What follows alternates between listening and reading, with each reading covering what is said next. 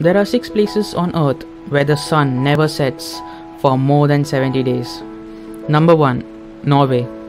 In the Arctic islands of Svalbard, Norway, the sun shines continuously from April 10 to August 23. For 76 days, the sun never sets in this country. During the summer months, the North Pole is angled towards the sun. That's why, for several weeks, the sun never sets above the Arctic Circle. It is also called the land of the midnight sun. Number 2. Nunavut. Nunavut is a city in Canada located 2 degrees latitude above the Arctic Circle. This place sees around 2 months of 24 by 7 sunlight. And during winters, the place sees around 30 days of total darkness.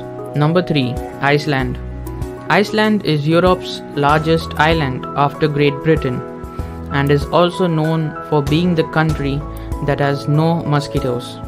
During summers, nights are clear in Iceland, whereas during June, the sun never sets. You can experience the midnight sun here in its full glory.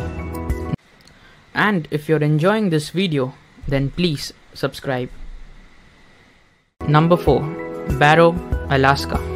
From late May to late July, the sun actually does not set here, which is later compensated from the beginning of November for the next 30 days, when the sun does not rise and is known as the polar night.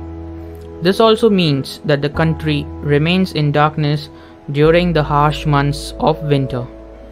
Number 5 Finland the land of thousand lakes and islands. Most parts of Finland gets to see the sun during summers. During this time, the sun continues to shine for around 73 days, whereas during the winter time, this region sees no sunlight. It is also one of the reasons why people here sleep less in summer and more during winters. Number 6. Sweden from early May until late August, Sweden sees the sun setting around midnight and rising at around 4 am in the country. Here, the time period of constant sunshine might last for up to 6 months of a year. Swedish Lapland, the sparsely populated region in the northeast of Sweden, covering almost quarter of the country, is the best place to see the midnight sun.